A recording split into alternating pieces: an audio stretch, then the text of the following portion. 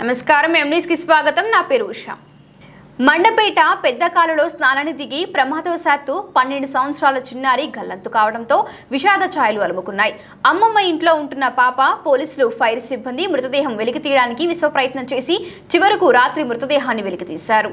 మండపేట స్నాన పెద్ద కాలువ వద్ద సబ్జా సంధ్య ప్రమాదవశాత్తు స్నానం చేస్తూ కాలు జారి కాలువలో పడి గల్లంతైందని స్థానికులు తెలిపారు. సమాచారం అందుకున్న తహసీల్దార్ నాగలక్ష్మి అదనపు ఎస్ఐ తోట సునీత రెవెన్యూ సిబ్బంది అక్కడికి చేరుకున్నారు.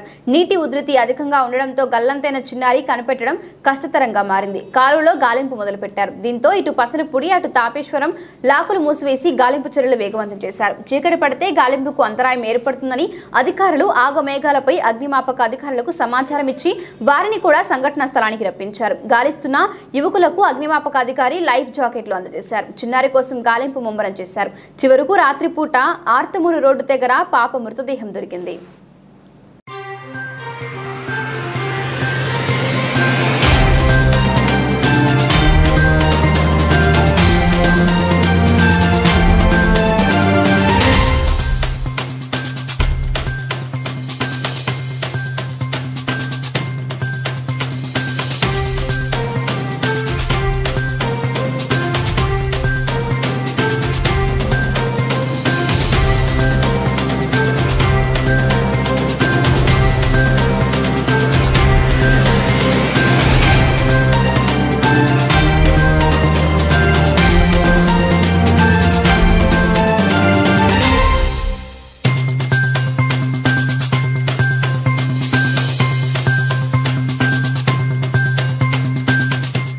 మరిన్ని తాజా వార్తా విశేషాల కోసం వెంటనే సబ్స్క్రైబ్ చేయండి. మీ మిత్రులకు షేర్ చేయండి.